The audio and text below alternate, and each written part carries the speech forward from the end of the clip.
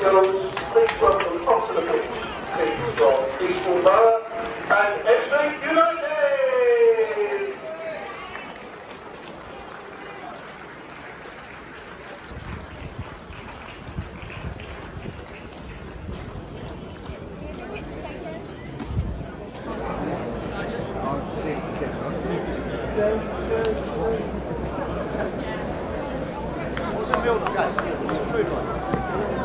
It's going to be replaced at the other end of the ground at the plough end. So we get underway. Charlie Kendall gets us off, and he'll be looking for more goals to add to his 16 that he's got already, and considering what they've had in the past. But here's a break from Eastbourne. They're on the edge of the box. A shot comes in, and it's Charlie Kendall. He's not going to get his 17th goal of the season. But uh, Eastbourne pressing now down the right hand side in the shadows of the main stand as the ball is played out into the centre circle where the sun still shines.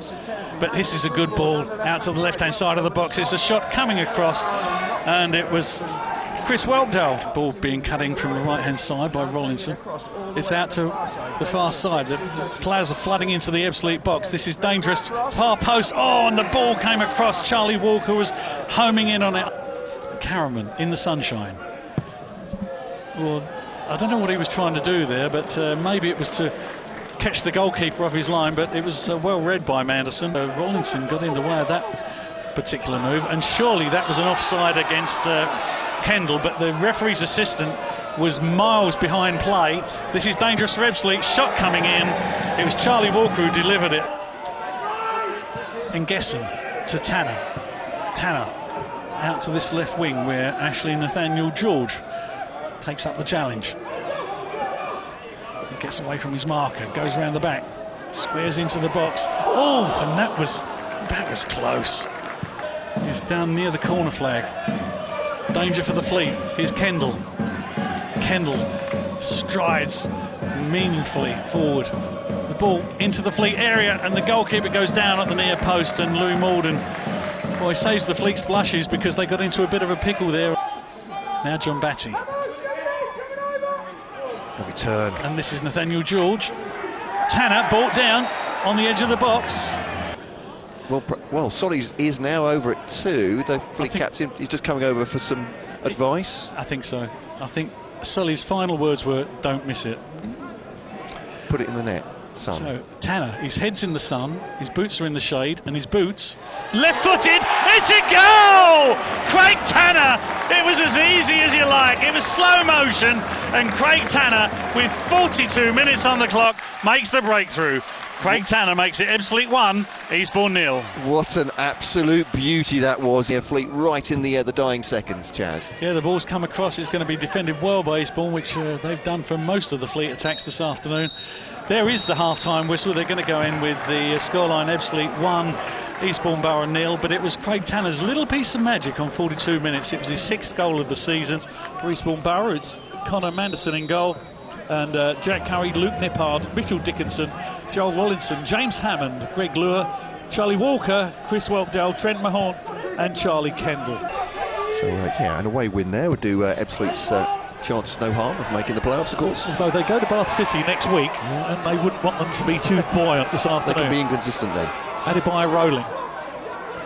Back to Tanner in the final third. Tanner, oh, taken by Coulthirst. Coulthirst drives the ball in.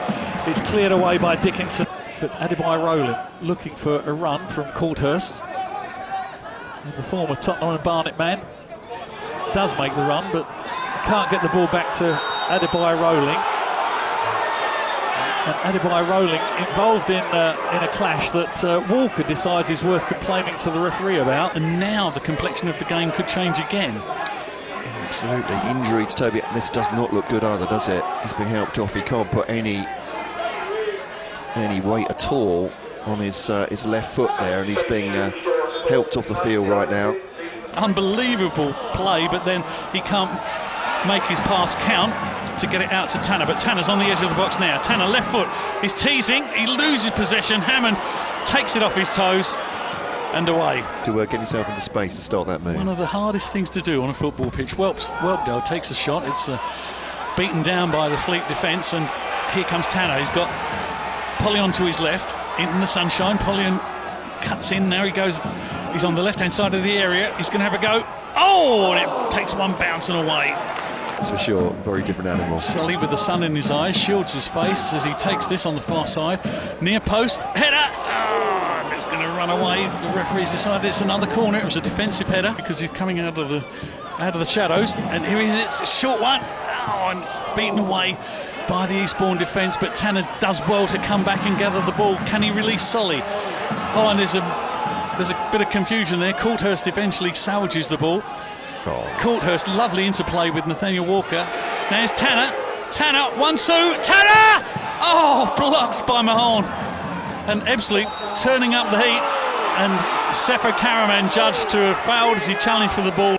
Curry forward to Whelpdale.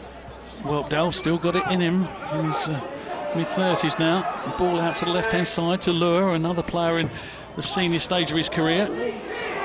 Oh, Fleet scrambled the ball away after it was uh, mishandled, I would say, by Louis Malden. It was played into the six yard area and the bodies were coming in.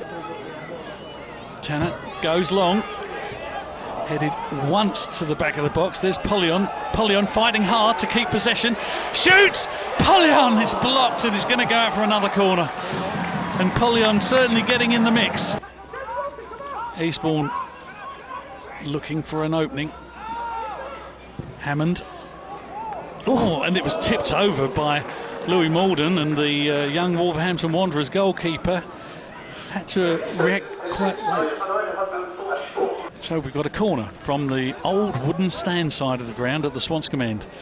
Two arms raised by Eastbourne's corner taker and it goes long it's headed down and Ebbsfleet have got to be very careful they don't allow a shot to come in from Mahon and fantastic play by Jack Paxman great energy to run the ball out ball. and here's that man Chapman one of the centre backs up to Poleon Poleon with one man ahead of him that man's Nippard Poleon edge of the box Poleon oh and he takes his shot just wide of the right hand post What a superb move that was, Charles, from Paxman winning the ball, turning on it, uh, putting the through ball to Chapman. He indeed turned his man on halfway and then placed the ball through uh, for Poleon. He still had a lot to do, didn't he, to get the shot off, but did, and only just wide of the right hand post. So uh, let's see what happens from this.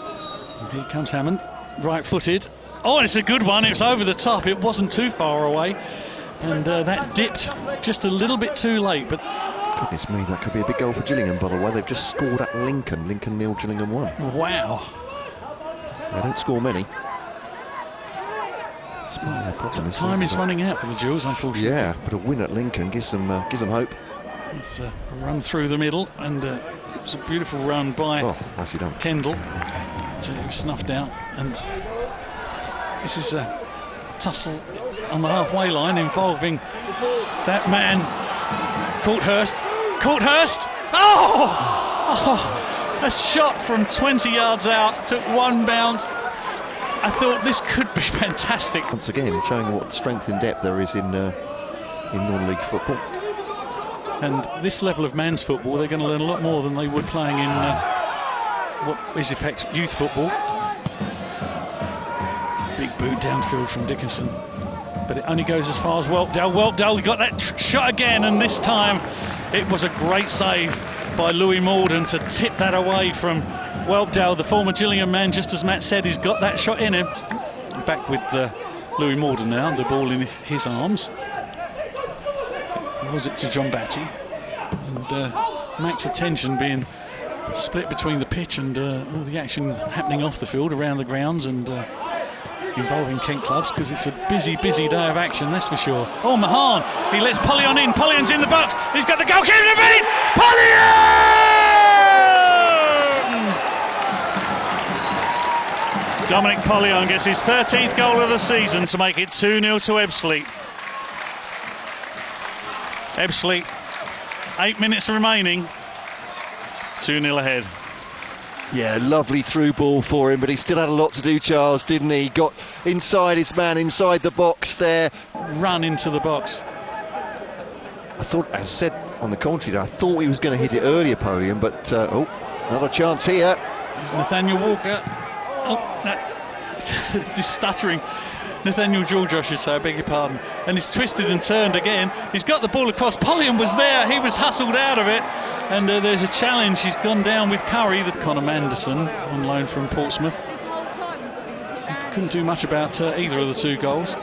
Maybe could have done a little bit better with the second, but the first one, the free kick from Tanner was exquisite. And here's Hammond. Last touch of the game from him as the referee blows his whistle. It's ended up here at Stonebridge Road with a scoreline Ebbsfleet United 2, Eastbourne Borough nil. Thank you very much, Charles. Welcome back to our listeners on Listen Live and BBC Sounds who have been with the Squad Goals programme with the news that Gillingham have beaten Lincoln by two goals to nil away from home today. You've just heard Ebbsfleet beating Eastbourne uh, 2 0, Dover losing at home.